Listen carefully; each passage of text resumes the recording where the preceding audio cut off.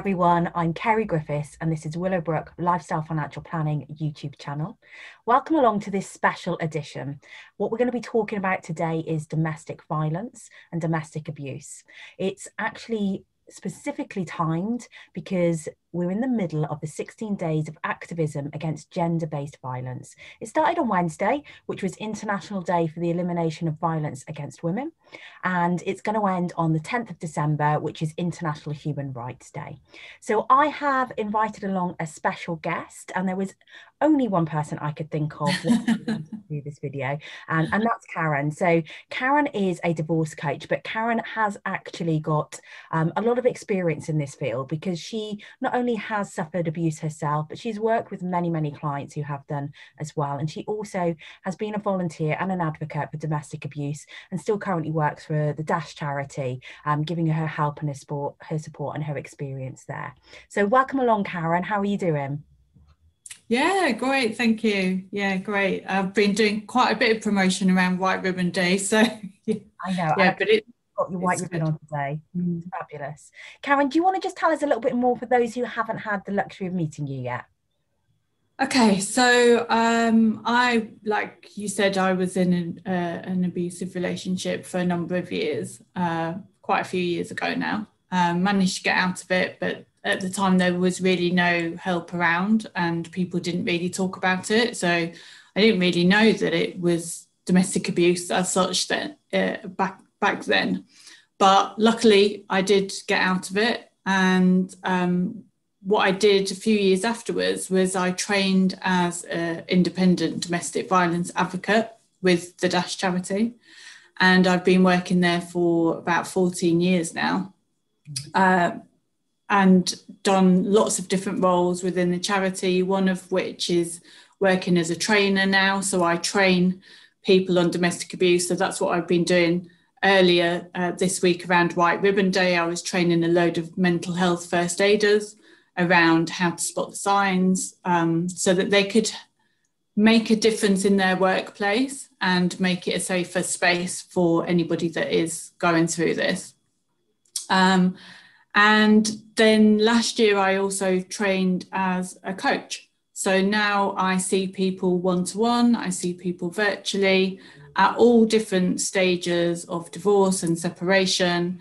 And of course, many of those clients that gravitate towards me are those that are suffering from various types of domestic abuse, including financial abuse, emotional abuse, obviously, and often there's a lot of conflict around the children and parenting and coercive control and those kind of things it's such a complex picture.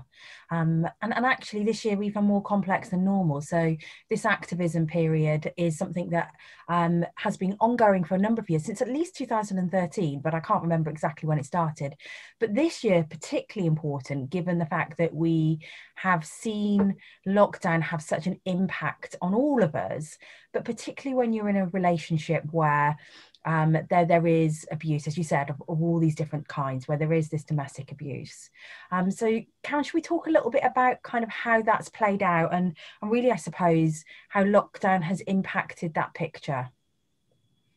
Yeah, I think, um, like you said, this year is just been really, really difficult for so many people in so many ways, but particularly if you are going through domestic abuse and then you're in the middle of a lockdown and a pandemic that is just just throws even more into the mix you know more stressors more challenges more barriers to leave in. So yeah it, just makes things a lot more difficult. However there is a flip side too and there has been a lot more awareness around how it's impacted people at home and much more um, many more conversations about domestic abuse and what people can do to help and what help there is available. So hopefully that has helped people find the help that they need sooner. I know for us at Dash, our referrals have tripled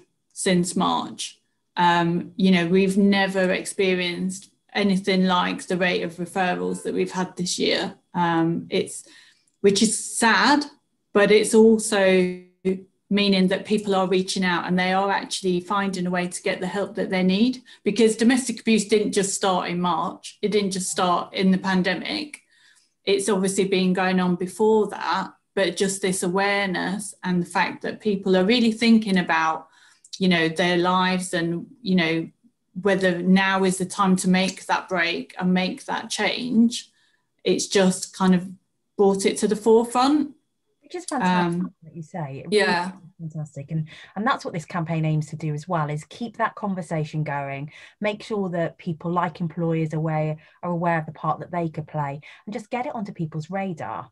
Um, one of the things that i'm really keen to find out a little bit more about caron uh, particularly for the audience listening today if you are a woman and you are experiencing domestic abuse what support is available Oh, there's loads of support, and that's the important thing to remember um, you know, they don't have to go through this on their own. So obviously you've got the police in an emergency. You know, if you are really in fear, if you're worried about risk, the police or the you, you know the emergency service to go through. If you don't feel that you're getting the right response you just have to keep asking right? And you have to keep reporting. And if you don't want to report to the police a lot of people don't. That's absolutely your choice. Um, but you can go to somewhere like the Dash Charity, your local domestic abuse organisation. So each um, county in the UK will have their own um, organisations. They're all called different names, which can be a bit confusing. And sometimes, depending on which borough you live in, you know, you come under a different organisation. It's unfortunately because they're all charitable organisations and because of the way that they're funded, um, it does vary very much from county to county. But if you just do something simple like Google domestic abuse support in, say, Berkshire or wherever, it should come up with your local council website. Mm-hmm. And on there should be a number that says, if you're concerned about domestic abuse, call this number, right? And that number will be confidential. So anything that you say to the person on the other end of that phone is 100% confidential. The person that's abusing you will not be made aware that you have called. They will explain all the different options that are open to you. Um, you know, you may want to go to refuge because you just feel that it's just impossible to stay at home anymore. Um, refuges are still taking in referrals throughout lockdown. Doesn't matter what tier you're in, right, you can leave. There's always a safe space for you to go if you are feeling that you are really at risk. If you don't want to go to refuge and you want to stay at home uh, in your home area with your support network, you know, to keep your job, to keep your kids in school, to keep all of that support around you, then again, you can do that. But what the organisation will do is they will organise safety measures to be put in place in your home if that's appropriate. They will link you up with free legal advice so that you can look to get some protective orders at court to protect you and your children. Um, if that's appropriate, they will go through whatever is going on in your particular situation. They will look at the risks, they will look at the support that you need, they will advise you of all the different options, and then the choice that you make is yours. Okay. So it's all done at your pace if you don't want to do something that's absolutely fine you know this is about you taking control back over your life and deciding what path you want to go down. So there's never any pressure um, to, to do anything that you don't want to do. Um, they will talk through the different tactics that abusers use to really make you understand what's going on because that can be quite difficult to to understand and quite difficult to articulate um, especially if it's not physical. So they'll help you really understand that and they'll also look at your children um, to see if there's any support that is needed for your children um, whilst you're all going through this so it's a whole range of support and then obviously if you if you feel like you don't want to contact a, a specific domestic abuse organisation like that, then of course you've got the option of going to somebody like myself, who's a divorce coach who specialises in domestic abuse. So I would the way that I support is is again it's it's confidential, but it's very personalized. So you have one-to-one sessions with myself, um, and we talk through whatever are the main concerns at the time. So whether it's it's actions that you want to put in place, or whether it's really understanding your relationship, or whether it is that emotional support that you need. So there's all different ways that you can get support. Um, there's there's you know different options for everybody. I love I love that explanation, Caron, and I think it is particularly reassuring to know that it's confidential, to know that it's options based, and how much how much significant support there is out there you know the legal the free legal support if needed you know being able to understand what the abuse looks like that's amazing. So i hope you know if you're a woman listening today and you have even an inkling that there's some domestic abuse because as caron said you know some of it's obvious you know physical abuse if that's you you're you're probably well aware, but the coercive control hopefully starting to get on your radar, and this might be kind of worth a call and worth just kind of investigating a little bit more. Um, and Caron, from that perspective, for women who are listening and they're not in that situation, or for professionals listening, because a lot of my colleagues will listen along to this, for, for all of us who are working in this field or our friends and our family, what can we do to support? How can we, if we are suspicious or if we think there might be a case where somebody is experiencing abuse, what can we do? So it's about trying to put the pieces of the puzzle together. Um, some of the signs are quite subtle, and um, it's very difficult for somebody to actually say, I'm experiencing abuse. You know, my husband is hitting me, or, you know, he's emotionally abusive.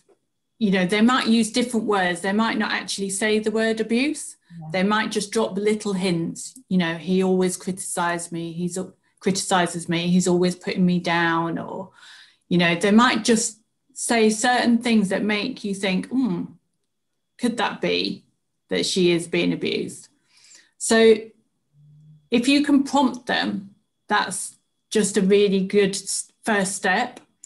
If you can validate how they're feeling if you can say well that sounds like it's emotional emotional abuse or that sounds like it's financial abuse or that sounds like it's quite controlling you're what you're doing is you're planting the seed and you're getting them to think about it.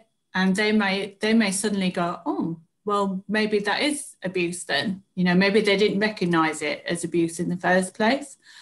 So you can go a bit further. You can offer to make a call for them just to get some advice like you said to get some clarity on what is going on. Um, if it's a client of yours, uh, you may have had contact with them before and you may have noticed like some deterioration over a number of weeks. You may have noticed that they're more withdrawn, that maybe they've lost a bit of weight, maybe they look really stressed and overwhelmed, quite tearful. You know, just ask them the question, you know, why is that? What's going on? You know, do you want to talk to me about it? obviously I'm very aware that in these kind of situations, um, a lot of the time, you know, there is some controlling behavior going on, or maybe there's some abuse. Is that happening to you?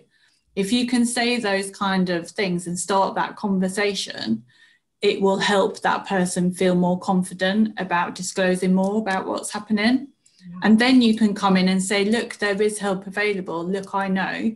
You can ring these people, it's confidential and you can kind of talk them through it a little bit amazing um, and it, if if you hear something that's going on you know if you hear a neighbor and you hear shouting and even screaming or things that are really quite concerning please just pick up the phone call the police. You know don't be worried about getting it wrong. Don't think oh god i'm going to get into trouble. You know what if it's just a one-off argument?